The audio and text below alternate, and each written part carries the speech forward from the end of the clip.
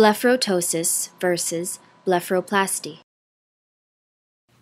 Distinguishing if you need blepharoptosis repair or blepharoplasty is based on the position of the eyelid relative to the pupil.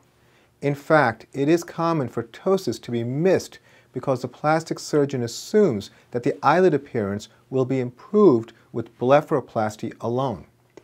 This results in eyelids being droopy and the person looking tired in spite of having eyelid surgery. Let's just get some terminology clear. Excess skin over the eyes causing hooding and a tired appearance is called dermatochalasis. When the eyelid margin is lower than it should be, this condition is called blepharoptosis. Very often a person can have both dermatochalasis and ptosis at the same time. This can be a challenge to make the proper diagnosis and surgical plan.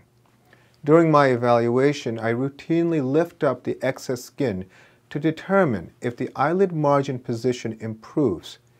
If the eyelid position is still low, then the patient has ptosis which can be addressed appropriately.